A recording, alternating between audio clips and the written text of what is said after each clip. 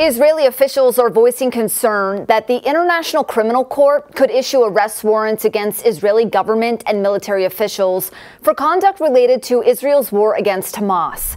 The ICC has the power to charge officials with war crimes such as genocide and crimes against humanity. Reuters reports the ICC could issue an arrest warrant for Israel's Prime Minister Benjamin Netanyahu and other top officials for possible violations of international humanitarian law in Gaza. They're also considering issuing arrest warrants for Hamas leaders. Neither Israel nor the United States are members of the ICC and do not recognize its jurisdiction. The ICC is an independent organization and their efforts are being undertaken without any contact or interference by the U.S. U.S. Ambassador to the UN, Linda Thomas Greenfield, told reporters Monday.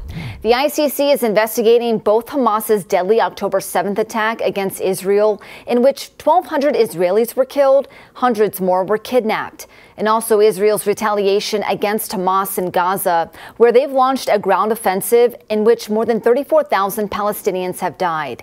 It's unclear, though, how many Palestinian civilians have died since the Hamas run Palestinian Health Agency does not distinguish between Hamas militants and Palestinian civilians.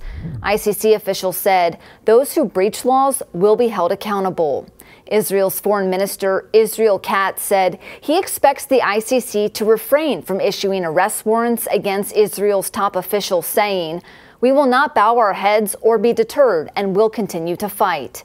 If the ICC issues an arrest warrant for Netanyahu, it doesn't necessarily mean he's going to end up in jail. However, it does mean he and other officials could be arrested in other countries that recognize the ICC, including much of Europe. On Friday, Netanyahu said Israel will never accept any attempt by the ICC to undermine its inherent right of self defense.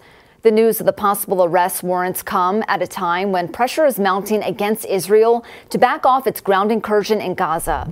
Israel is currently awaiting a response from Hamas militants on a new ceasefire proposal, one that U.S. Secretary of State Antony Blinken calls extremely generous. At this time, the terms of that ceasefire remain unknown.